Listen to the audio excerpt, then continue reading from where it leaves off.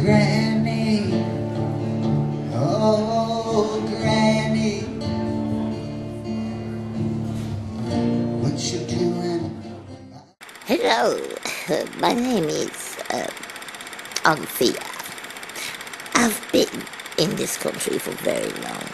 Uh, I've been traveling, I've been doing so many things that it's unbelievable. I've got so many stories to tell you.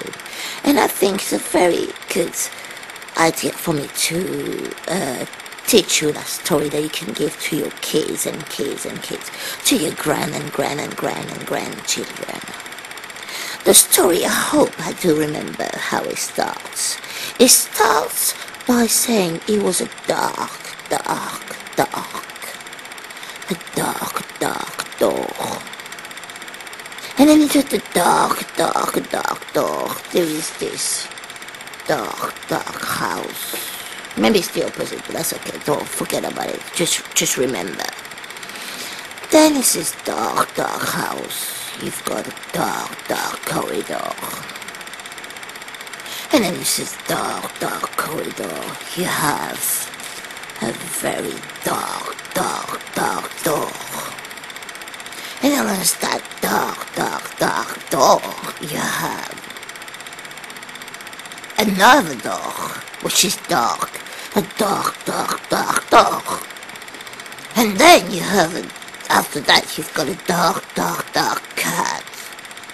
And then from the dark, dark, dark cat, you've got another door, which was dark, dark, dark.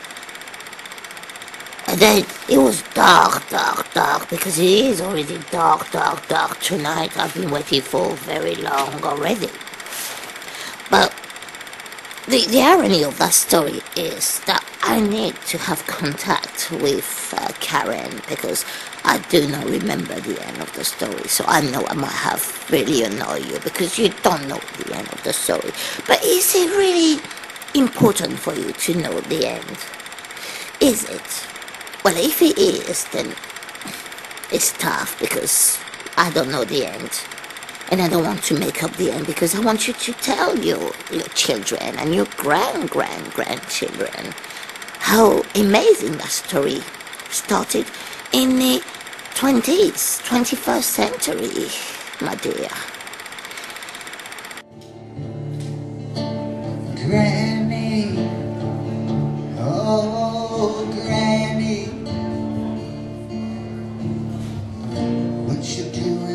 Computer, a laptop, a mobile. I know it doesn't exist anymore, but it's okay.